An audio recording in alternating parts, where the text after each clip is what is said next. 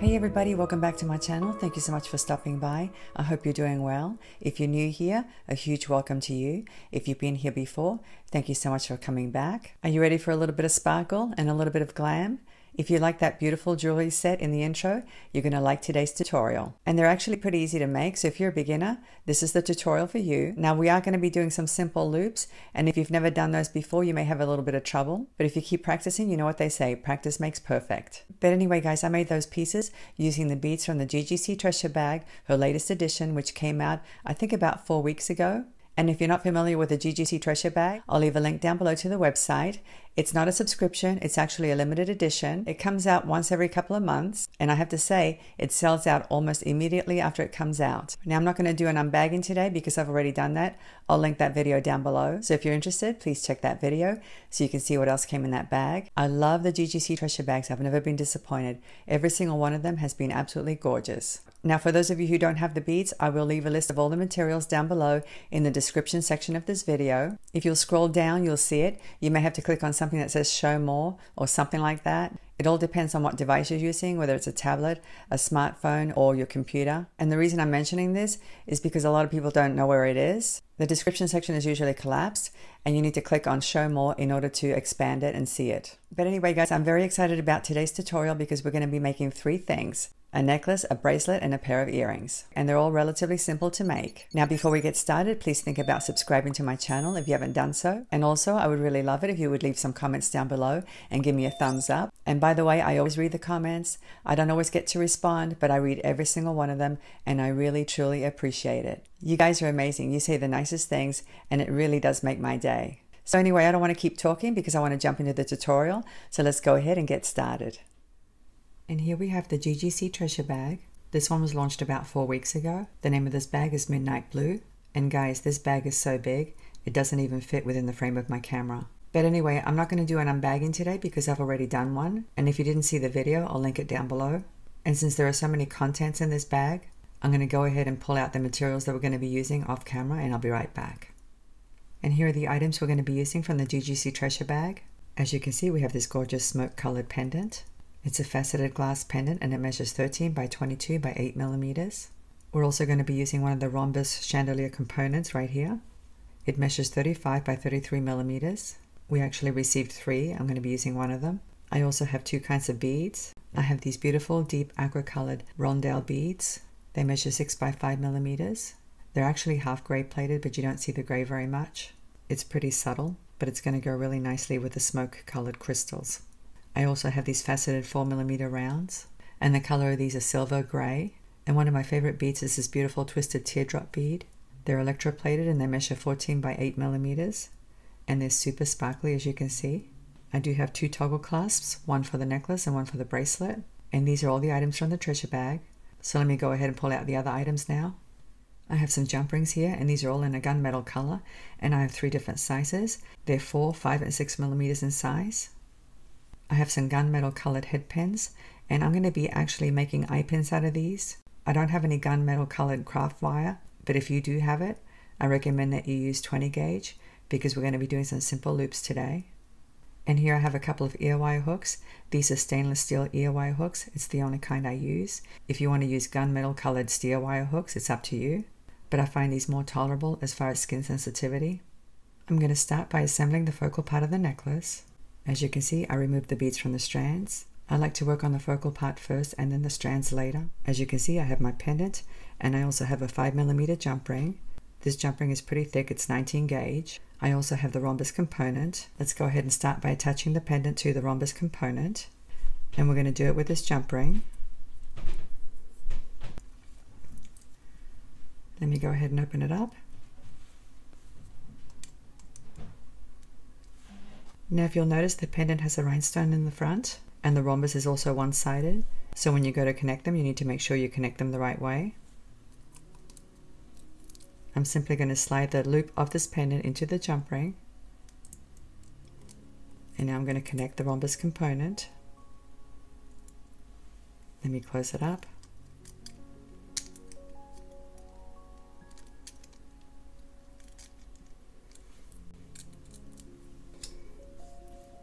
So this is what it should look like. Let me show you the back of the component so you can see what I'm talking about. As you can see, it's flat in the back. So it's important that you connect it the right way.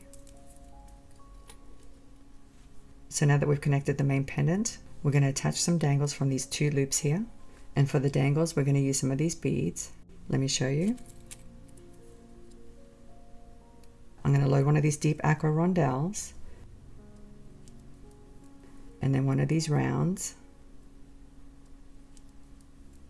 Just like that. And now I'm going to create a simple loop. So I'm going to grab the pin at the top of the bead like this. And you want to leave a little bit of space because you're going to kink that pin. Just like that.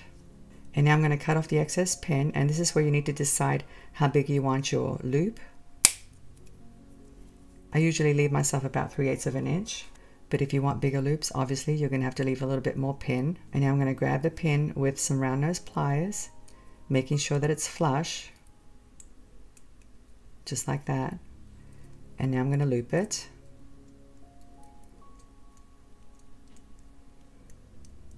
You want to make sure you close your loop nicely and straighten it out if you need to. and these pins are rather thick so it's a little bit challenging to loop them but that's what you should have something like that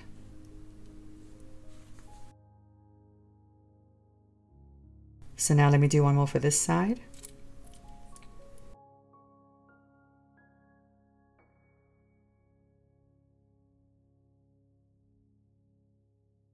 So here are my two dangles. Let's go ahead and connect them. I'm simply going to open up the loop like this, hook it onto the rhombus component like this, and close up the loop.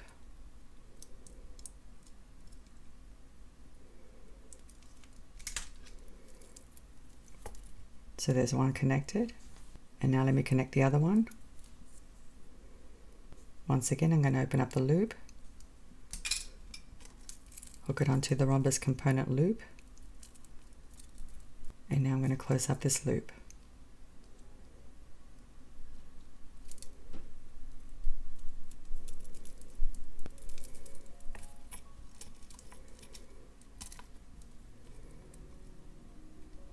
So this is what we have so far. So now we're going to build some beaded components that are going to connect to these loops here. And that's pretty easy to do. The first thing I need to do is get rid of the head of this head pin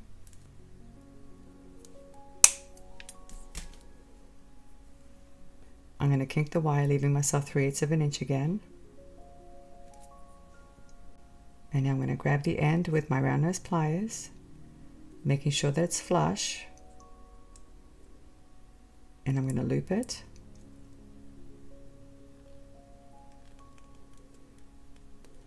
Make sure the loop is nice and straight on your pin.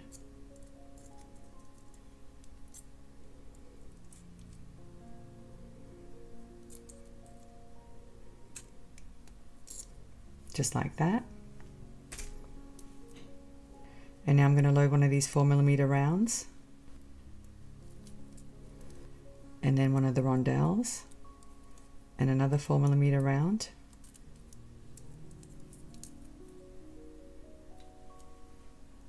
Grab the pin. Line up the bottom loop. Kink it. Cut off the excess. Grab the end and then loop it.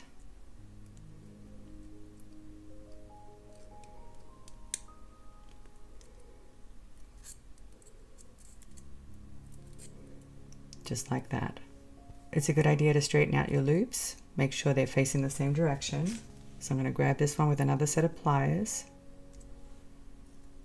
So this one beaded component. And now I'm going to create five more just like this.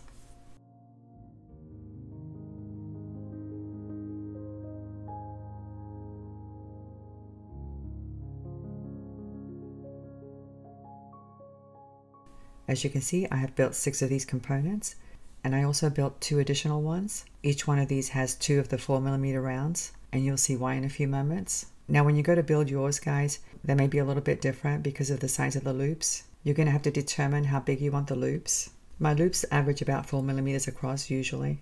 I don't usually create loops bigger than that, but again, it's personal preference. So let me show you how we're going to assemble this. I'm going to connect two of these beaded components together. So I'm simply going to open up this loop, connect one to the loop, and then close it. Let me do another one.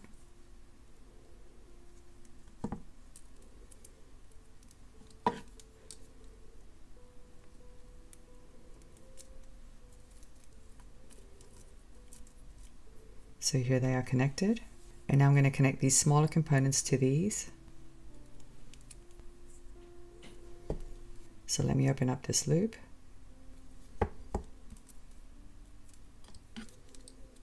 And close it.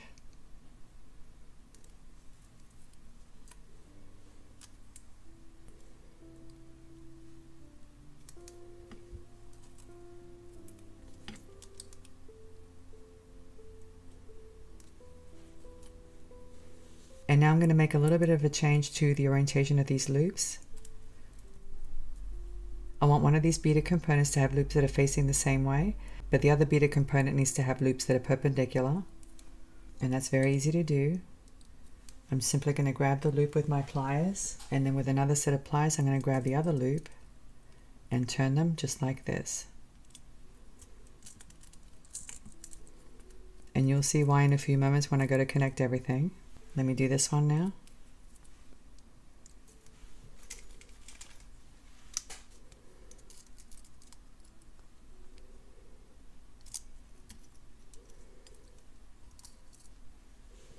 To connect the beaded component that has the loops that are parallel to the rhombus component. So let me open up this loop and I'm going to connect it to this loop right here.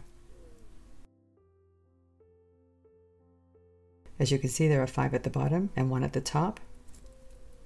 Let me close it up.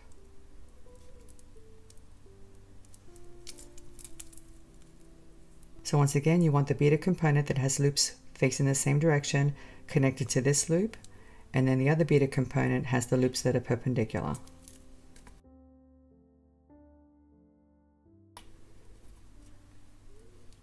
Let me connect this one now.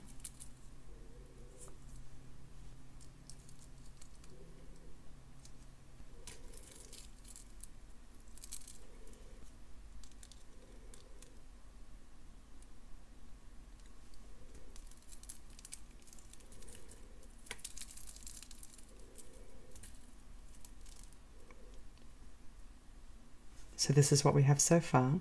And now we're going to connect these two strands to that center loop. And once again, we need to change the loops of these beaded components. So I'm going to change the orientation on these beaded components here, the ones with the 4 millimeter rounds.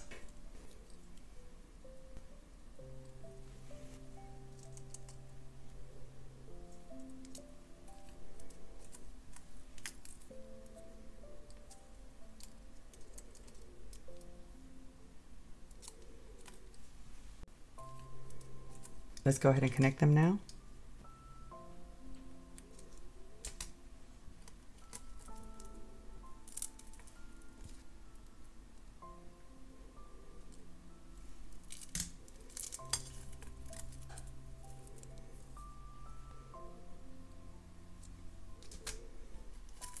I'm simply connecting both of them to this top loop.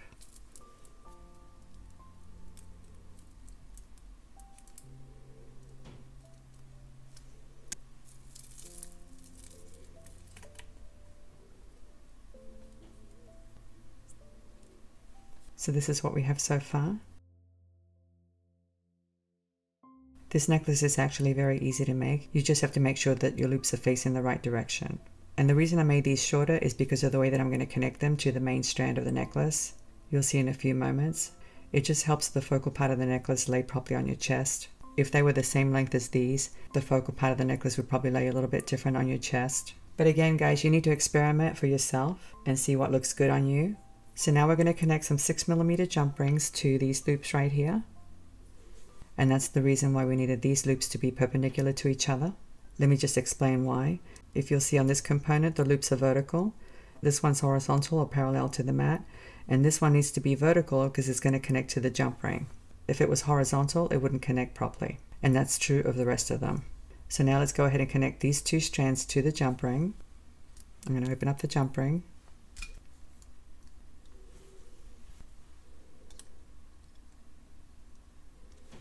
And now I'm going to slide it through this loop and this one, making sure I don't twist the strand around, just like that. And now let me close it. Let me give you a close-up. This is what you should have. As you can see, the loops are connecting properly to that jump ring.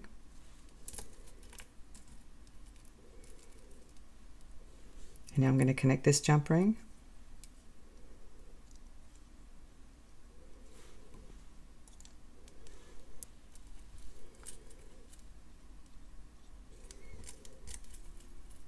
Once again, you want to be careful with how you connect it. Check it before you close that jump ring.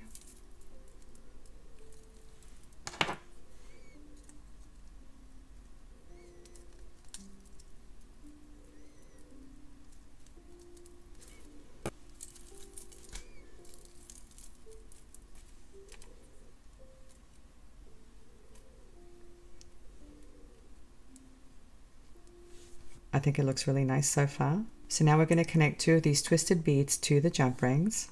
And of course we need to create some eye pins. So once again, I'm going to create myself an eye pin by using my head pins. I'm going to kink the pin at the top. Grab the end with my round nose pliers. Loop it.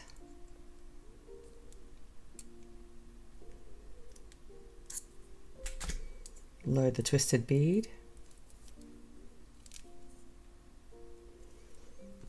Grab the pin at the top of the bead, line up the bottom loop, kink it, cut off the excess, grab the pin and loop it.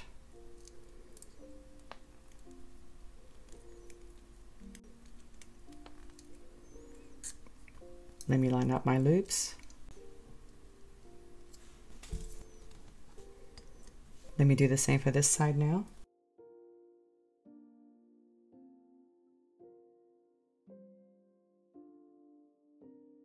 So now that I've created these two components, we're going to connect them to the jump rings. Let me open up this loop.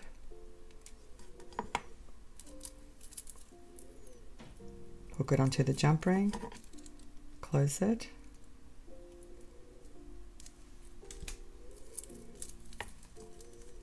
And now let me connect this one.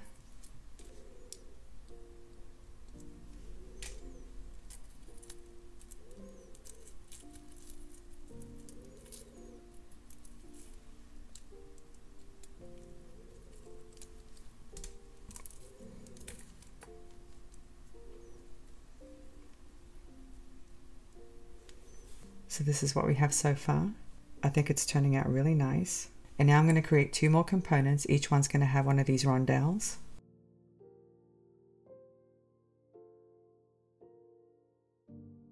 So here are my two components. And don't ask me why I'm only using one rondelle. Sometimes when I design things, I make decisions based on my gut instinct, if that makes any sense. I just think having one of these twisted beads followed by an aqua bead at the top looks good.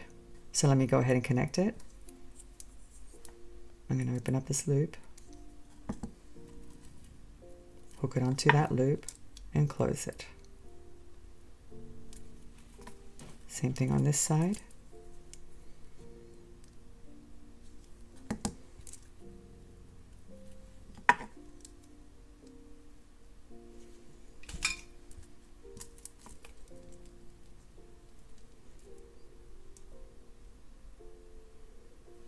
So this is what we have so far. And believe it or not, we're almost done with this necklace. All we need to do now is work on the strands, and that's pretty simple. The strands are going to be made up of these beaded components, and these are the ones that have the 4 millimeter rounds on each end and the rondelle in the middle. Mine measure about 7 eighths of an inch, but again, it all depends on how big your loops are. If your loops are bigger, obviously they're going to be longer. And at this point, I'm not sure how many I'm going to build, but I'm thinking maybe 16, so 8 for each side of the necklace. But more than likely, I'll need less than that. So anyway, I'm going to go ahead and build them off camera to save time and I'll be right back. As you can see, I built my beaded components and I've already connected this side. So now I just need to connect these and that's very easy to do. It's the same thing we've been doing all along. I'm going to open up this loop, connect this component to it, close it up, open up the next one, connect another beaded component, and close it up. Let me go ahead and connect the rest.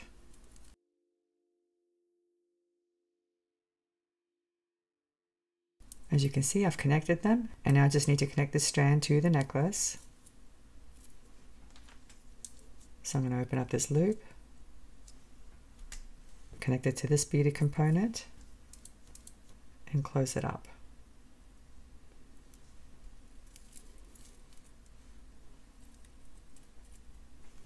I can honestly say this is a very simple necklace to make. It may look fancy, but it's easy to make. Here I have some 4mm jump rings and a toggle clasp.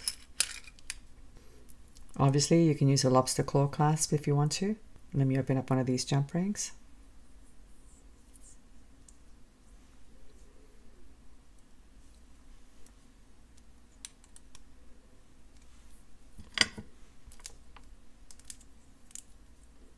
Connect the ring portion to it. And now I'm going to connect it to one of these strands. I'm simply going to slide the loop right into the jump ring like this. And now close up my jump ring.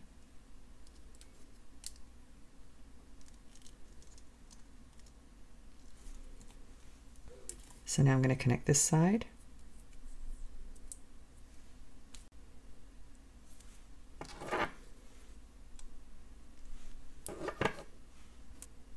Connecting the bar portion of the toggle clasp and now I'm going to connect it to this side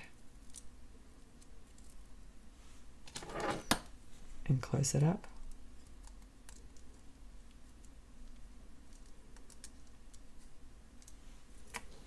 Let me do up the clasp and then I'll show you the necklace.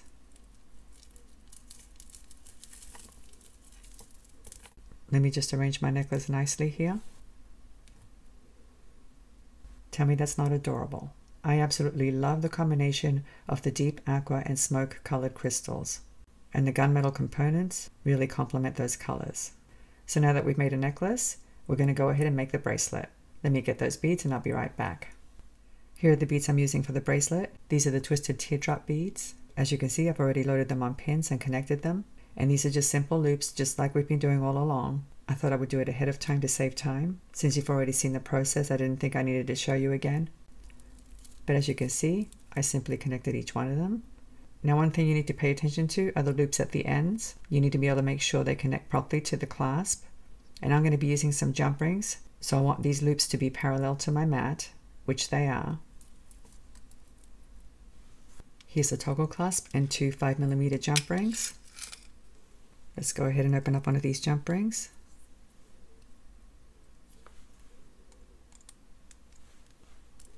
I'm going to connect the ring portion to the jump ring and now I'm going to connect this end of the bracelet to the jump ring and close it up.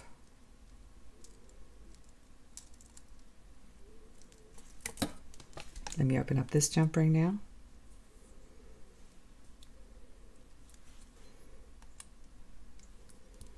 I'm going to connect the bar portion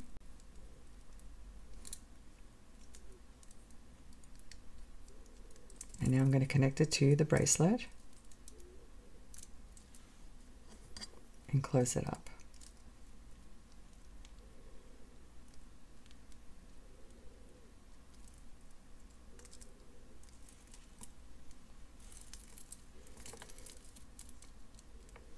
I love the sparkle of those crystals, I really do. Now to tie the whole thing in, I thought I would add a little charm that has the deep aqua color. So I made a little charm using the deep aqua rondelle and I did add one of the four millimeter rounds on top of that. And it's on a head pin. I'm going to use another five millimeter jump ring to connect it just to give it a little bit of movement. I could connect it just like that, but it would be a little bit too stiff and it wouldn't dangle very well. So let me open up this jump ring. Connect the charm to it. And now I need to decide where to connect it. And I think I'll connect it to this jump ring right here.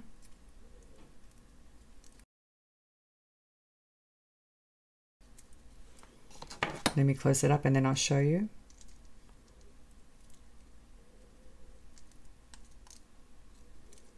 These are really tough jump rings.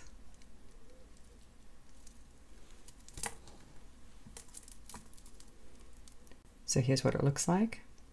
Very easy.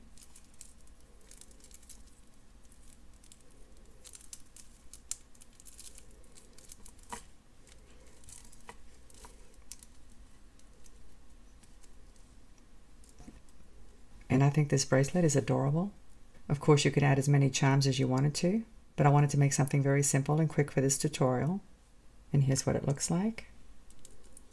I think it's really cute. I really love the sparkle. I love the facets of these crystals. Now keep in mind that my wrists are very small, so you may need more beaded components. I have a total of seven, and this bracelet measures about six and a half inches by the time you do up the clasp. So you may need a different number of beaded components, it all depends on how big you want your bracelet or how long you want your bracelet. Let's go ahead and move on to the earrings now. And here are the materials for the earrings. As you can see, I've already assembled one of them. I used the twisted teardrop bead. I also used the deep aqua rondelle and the 4mm faceted round. Nothing fancy, guys.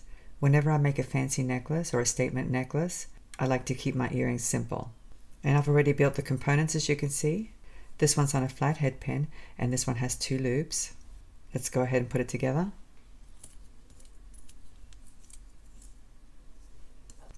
I'm going to open up this loop, connect this component, close up the loop,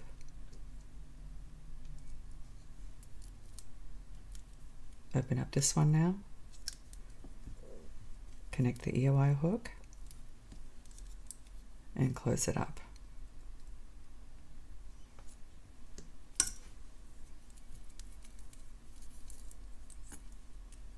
It couldn't be any easier.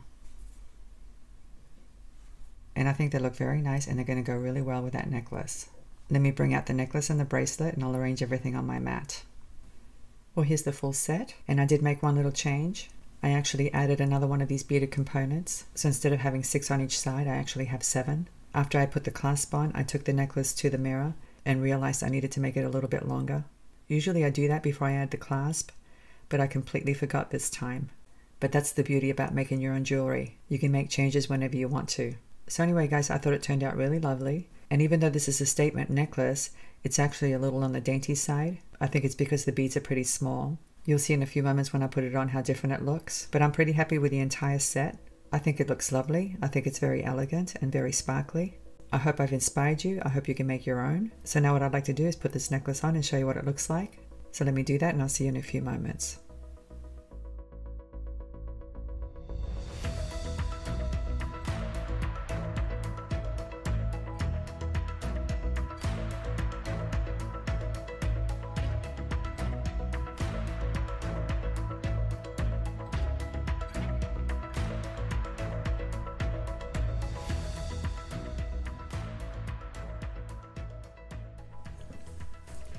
Well, what do you think? Isn't it lovely? I really like this necklace. I really do. As you can see, it's not very big. It's actually a little on the dainty side, even though it's a statement necklace. And I really love this bracelet. I think it's gorgeous. I love the sparkle. I'm a big fan of dark metals and sparkly beads. I just think that's such a nice combination. I think I've mentioned it before. I like dark metals better than silver and gold, but of course it depends on the occasion and it depends on what kind of clothing I'm wearing. And I guess the season matters as well.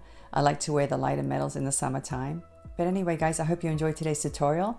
I hope I've given you some ideas. I hope you can go out and make your own necklace, bracelet, and earring set. Thank you so much for joining me today. I'm looking forward to seeing you again. Have a great day, and I'll see you next time.